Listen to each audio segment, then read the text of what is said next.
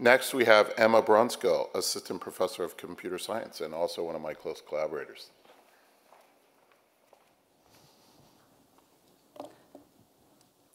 I'm delighted to be here, and I particularly love the most recent panel where people discussed with incredible nuance some of the challenges we face. In five minutes, I will not be able to do the topic nearly as much justice, but just like those people, I really want to understand how to make the right decision at the right time. This comes up in almost everything we do, whether in healthcare for probably the 60% of you that are trying to manage a chronic health condition, or in education when so many of us want or need to learn new skills.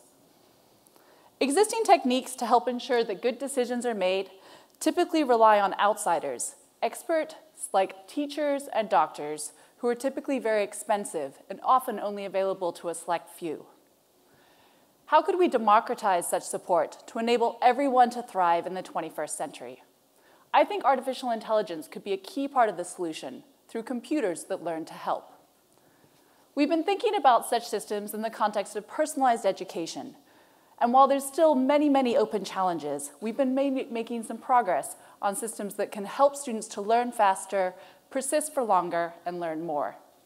But what I want to do today is to tell you about two of the key insights and ideas that underlie these type of systems.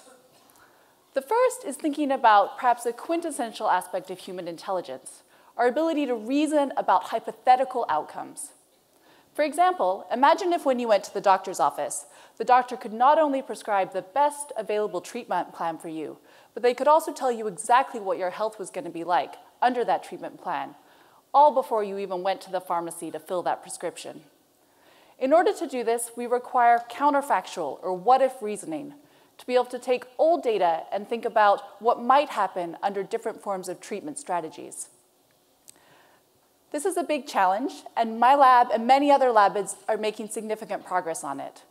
One of the key ideas is to marry together statistical machine learning techniques along with insights from econometrics. Together, these types of approach approaches can reduce by an order of magnitude the amount of data we need in order to accurately predict how well alternative decision strategies might work.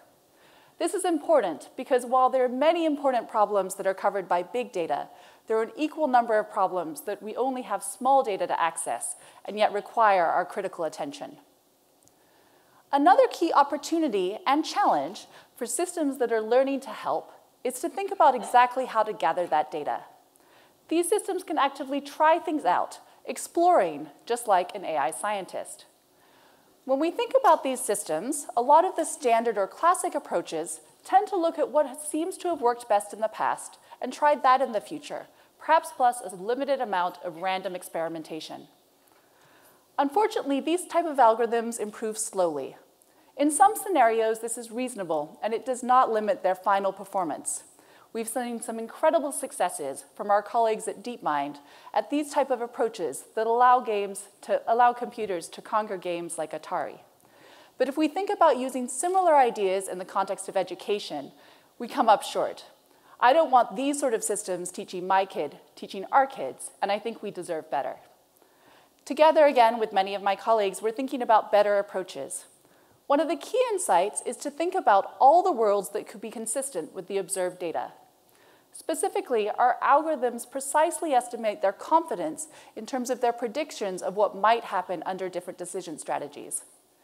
Given all this uncertainty, what sort of action should our algorithms take? Somewhat surprisingly, a key principle is to be optimistic. After all, if we are optimistic, either the world really is as good as our algorithms hope it will be, and in which case they are making good decisions. Or sadly, it is not, and our algorithms will learn from their shortcomings, improve their predictions, and hopefully make better future decisions. In fact, beautifully, we can find that just the right amount of optimism can be provably optimal.